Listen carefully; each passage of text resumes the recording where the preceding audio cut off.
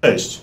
Dzisiaj w dość krótkim, mam nadzieję, filmie pokażę Wam, jak robię retrospektywę swoich meczy oraz jak analizuję swoje zachowania meczowe, przygotowanie do meczu i to, o czym było w dwóch artykułach na blogu panskosz.pl, do których linki znajdziecie poniżej w opisie.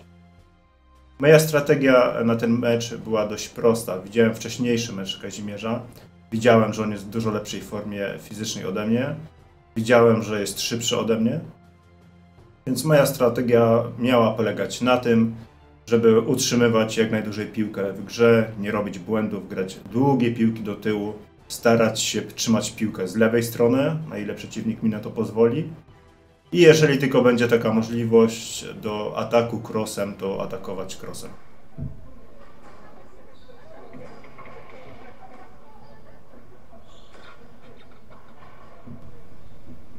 Tak jak powiedziałem, bezpieczna strategia utrzymania piłki jak najdłużej w grze, nie ryzykowania. Jak widzicie tą piłkę, pierwszą piłkę udaje mi się dość konsekwentnie grać zgodnie z założoną strategią. Tutaj trochę się bawię w Wilstropa niepotrzebnie. Lepiej było zagrać bezpiecznie do tyłu, może by wtedy przeciwnik nie dobiegł. Tak, e, zagrywam słabo, on daje fajnego krosa kontra. I później zagrywa mi fajnie w tył, nie jestem w stanie wybrać tej piłki. Druga piłka i od razu poważny błąd, stoi ustawiony do ściany, nie do przedniej szyby, zagrywam bardzo słabo. Na szczęście tym razem mi się udaje to zagrać. Przeciwnik później zagrywa na środek i dosyć szczęśliwie udaje mi się zaatakować.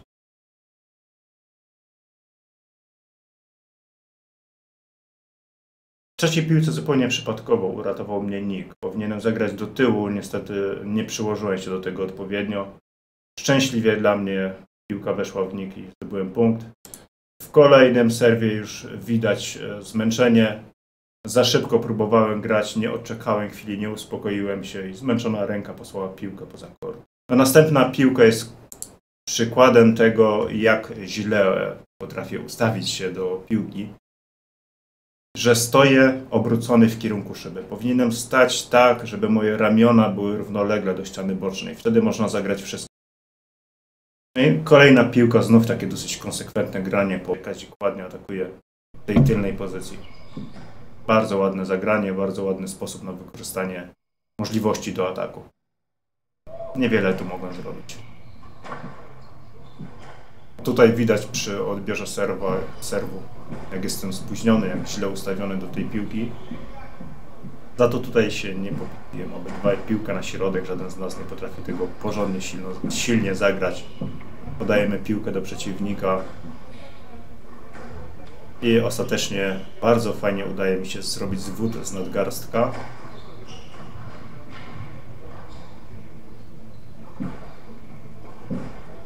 Złe ustawienie względem ściany. Za blisko niej stałem. Nie byłem wyciągnięty. Za blisko stałem ściany, brakło tego przykucnięcia, żeby ładnie piłkę wyprowadzić. No i przy odbiorze widać, jak uciekam od piłki. Powinienem się lekko odsunąć i nachylić do przodu. Tymczasem ja uciekam, jestem wychylony do tyłu. Tutaj nawet nie trafiam w piłkę, no zdarza się zmęczenie,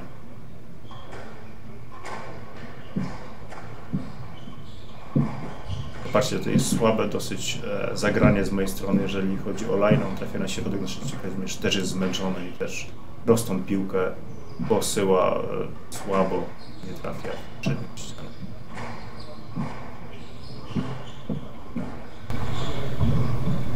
No tutaj udaje mi się całkiem ładnie zaatakować, nawet delikatnie podkręciłem tą piłkę, ona leci takim lobem i spada na przednią ścianę. Bardzo fajne zagranie.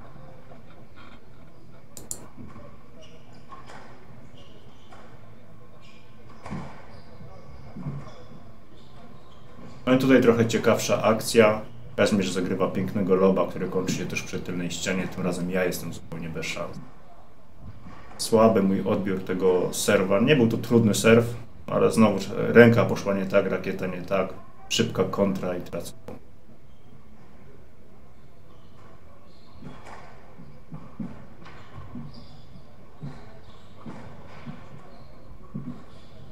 Trochę dłuższa, fajniejsza akcja, która znowuż kosztowała mnie mnóstwo energii. szczęście udało mi się zdobyć punkt, serwuję.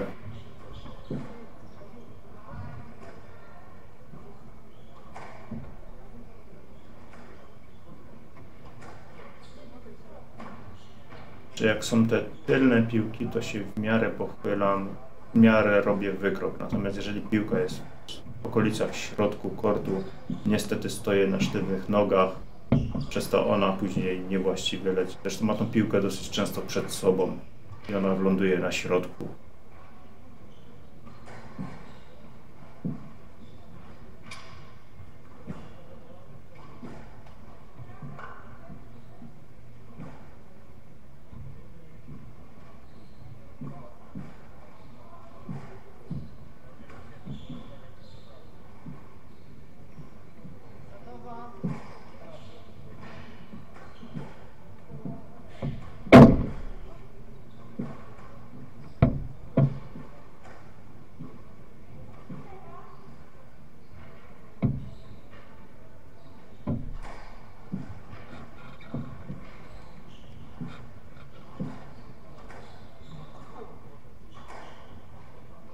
Tutaj Kazimierz popełnia prosty błąd przy odbiorze, też nie trafia w piłkę. Mi się tam udaje trochę skierować piłkę w nik, przez czego wybijam go z rytmu, przeganiam go. I to jest e, bardzo fajna akcja, bo ja gram praktycznie cały czas e, z środka kortu, niewiele energii tracę. Natomiast jak widzicie sami, Kazimierz musiał się nabiegać po... Trochę sędzia pomylił się z liczeniem. Na szczęście wszystko udało się odkręcić. No i kolejna piłka setowa. I kolejna piłka meczowa dla Kazika, ja serwuję. I zamiast grać spokojnie, niestety próbuję atakować nisko nad dach, uderzam w dach. Zupełnie niepotrzebnie. Dużo lepszy byłby zwykły cross albo nawet line, grany bezpiecznie do tyłu. Nie schodziłem z kortu, wiedziałem, że jak usiądę i na chwilę odpocznę, to zechce mi się jeszcze bardziej spać i mogę nie wstać i mogę nie wejść w ten drugi set a gramy best of three, więc drugi set będzie naprawdę decydujący, czy gramy dalej, czy to już koniec. Wolałem zostać na korcie, poodbijać piłkę o przednią ścianę i skupić się na tych odbiciach, bo to mnie odpręża, to jest ćwiczenie, które wykonuję przed treningami, w trakcie treningów.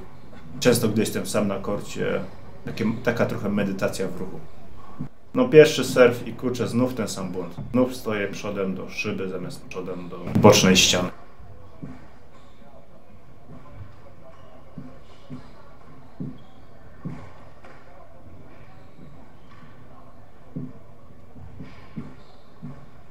Konsekwentna, ładna wymiana po lewej stronie, tak jak sobie zakładałem. Kaźmierz atakuje na prawą, ja mu oddaję też niezłym atakiem. Nie pozwalam mu zejść. Niestety popełniam prosty błąd, który powoduje, że wszystko tracę. No i tu się znowuż wydarzyła kolejna sytuacja, która mówi o tym, jak wszyscy są zmęczeni. Bo sędzia tak się zapatrzył na mecz, że zapomniał e, liczyć punkt. A ja zapomniałem, że przed chwilą zdobyłem punkt i jeden sobie odjąłem właśnie.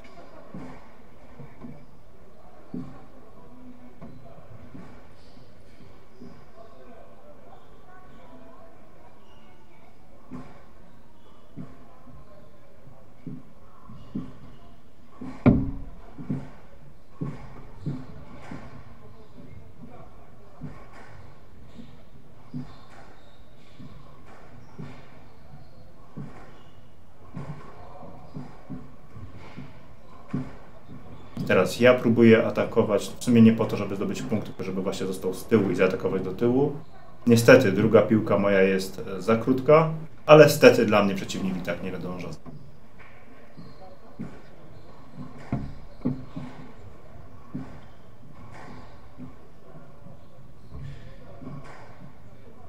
dosyć e, wyczerpująca wymiana, wyczerpująca dla mnie, bo trzeba było trochę pobiegać, a już nie miałem tlenu w płucach.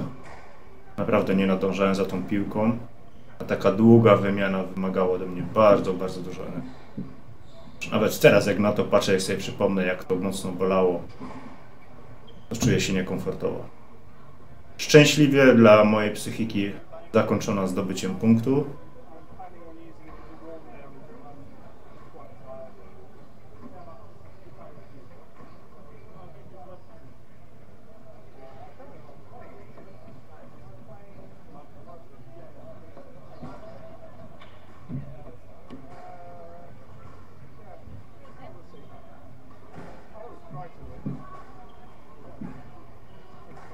No i drugi błąd, konsekwentnie tak, błąd, błąd za błąd, błędem, błąd za błędem, e, wynikający z tego, że ręka nie idzie optymalnie, jest zmęczona.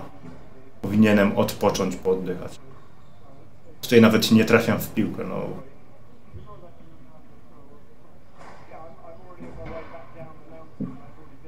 Widzicie, optymalne dosyć zagranie z tyłu. Niestety piłka leci na środek. Szczęśliwie dla mnie Kazimierz próbuje atakować i trafia w blachę, ale mógł mieć łatwy, prosty punkt, by zagrał trochę spokojniej.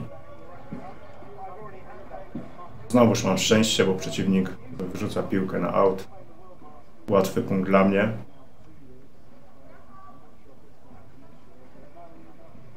Widać przy tych odbiciach takich nietypowych, jak dziwnie idzie mi ta rakieta. No.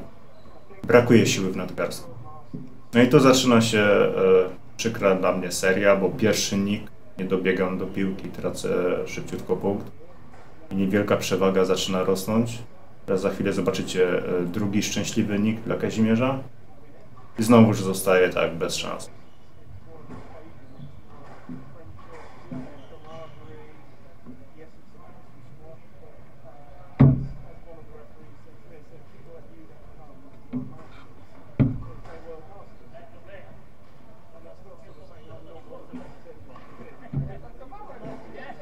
Popatrzcie, piłka na środek, ja mam dobrą pozycję do zrobienia czegokolwiek, a atakuję zupełnie nietypowo, trzymając piłkę i ryzykując wszystko. Zupełnie trochę, znaczy trochę, no bez sensu.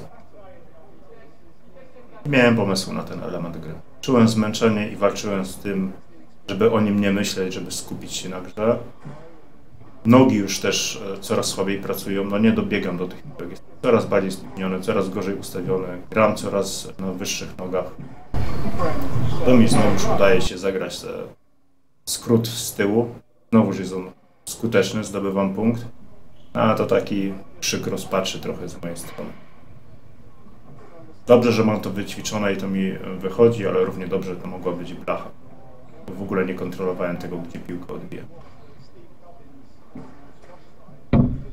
A tutaj bardzo prosta piłka, źle odbita, nietrafiona, trafia w blachę. Kolejny błąd e, tego samego typu, czyli stoję ustawiony do szyby. No i Kazimierz ma piłkę meczową. Dopiero teraz zdecydowałem się na chwilę przerwy i oddechu, ale to i tak dalej za mało.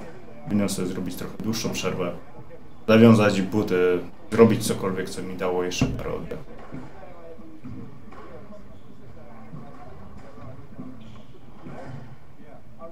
Piękne zagranie, wróg, nie byłem w stanie tego wyciągnąć i mecz się kończy. Podsumowując ten mecz, no to wydaje mi się, że wszystko było w miarę poprawne. W pierwszym secie konsekwentnie trzymałem się przyjętej strategii, e, nie było nerwowości, było parę błędów, które wynikały głównie, mam nadzieję, ze zmęczenia. Na tą chwilę trudno to oszacować, na ile to było zmęczenie, na ile jakieś rozproszenie się. W drugim secie już trochę tego rozproszenia było wydać, ale wynikało one z jeszcze większego zmęczenia. Tak? Po, tym jednym, e, po tej jednej długiej wymianie, która kosztowała mnie dużo energii, musiałem się mocno skupiać na tym, żeby wykrzesać z siebie trochę energii. I brakowało mi już takiego skupienia na piłce, na tym, co się dzieje na korcie. Tam, gdzie grałem stare, stałe elementy gry i pomagała pamięć mięśniowa, było ok. Tam, gdzie trzeba było wykazać się refleksją, jakąś kreatywnością, to niestety tam już brakowało energii. Tego już nie robiłem dobrze, no ale nie mam tutaj do siebie e, pretensji o to. Tego się nie da wyćwiczyć, tak? To było silne zmęczenie. Zaznaczyłem trzy e, zetki, znaczy, że punkty stracone, niewymuszone błędy stracone ewidentnie przez zmęczenie. Tak je odczytuję. Jeden stracony serw, no też bym mógł powiedzieć, że to zmęczenie, ale wiem, że za szybko zaserwowałem i w sumie to też dopiszę do swojej retrospektywy że muszę poćwiczyć nad tym, że jak miałem ciężki, e, ciężką wymianę, bardzo wymagającą wymianę, to muszę wymusić trochę dłuższą przerwę. Bardzo fajnie wyszły e, ataki, bo większość z nich e, była w miarę skuteczna, mało atakowałem, bardzo dobrze. Natomiast jest to e, tak nietypowy mecz, tak mocno dyktowany zmęczeniem dwóch zawodników, że nie wiem, czy będę wyciągał z tego jakieś większe wnioski na przyszłość. Generalnie, po dwóch setach, tylko tyle zagraliśmy, jak sami widzieliście, ja popełniłem 14 niewymuszonych błędów, przeciwnik 6, więc e, więcej niewymuszonych błędów po mojej stronie spowodowało, że ten mecz się tak szybko skończył i takim wynikiem i to doskonale było widać, szczególnie w drugim secie. Tak jak powiedziałem na wstępie, jeżeli jesteście zainteresowani tym, jak robić retrospektywę, jak analizować swoje mecze, zapraszam Was do artykułów, do których linki podaję opisie do tego filmu. Jeżeli Wam się podobało, jeżeli chcielibyście to skomentować, bardzo Was zapraszam. Będzie to dla mnie informacja, czy lubicie takie filmy, czy chcecie więcej takich materiałów. Będziemy też analizować e, mecze topowych zawodników polskich. Mam nadzieję, że będą to również e, takie analizy razem z nimi. I wtedy będzie to e, materiał, mam nadzieję, ciekawy dla osób bardziej doświadczonych.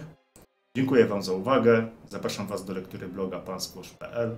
Zapraszam również do subskrypcji tego kanału, na którym mam nadzieję sukcesywnie będą się pojawiały takie filmy i im podobne. Na pewno możecie liczyć na relacje z turniejów, w których będę brał.